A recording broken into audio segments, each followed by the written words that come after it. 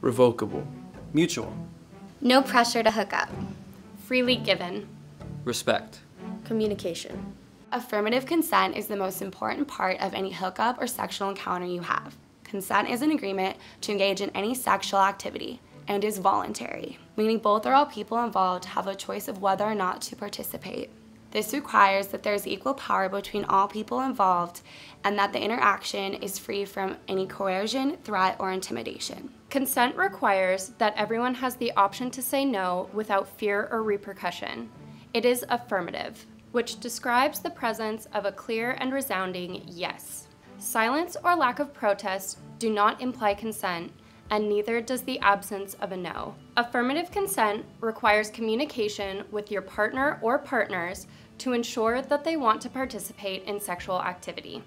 This communication should be ongoing to make sure each person's interests and boundaries are being respected. Consent to one kind of sexual activity is not the same as consenting to other kinds of sexual activities.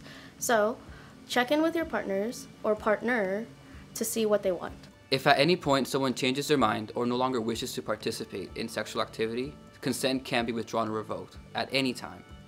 If anyone no longer wishes to engage in sexual activity, there is no longer consent. Consent also needs to be a conscious decision by all people involved, meaning that consent cannot be given when a person is incapacitated, unconscious, or coming in and out of consciousness. Simple stuff, right? Affirmative consent means that it is the responsibility of each person involved in the sexual activity to ensure that they have the consent of the other or other persons engaged in the sexual activity. The easiest way to make sure that you are respecting your partner is to check in with them and make sure that you talk to them. Consent isn't just sexy, it's mandatory. Remember, any physical sexual contact without consent is sexual assault. Now get out there and be a gaucho who stands for affirmative consent. Less than yes is a no. Less than yes is no. Less than yes is a no. Less than yes is a no. Less than yes is a no.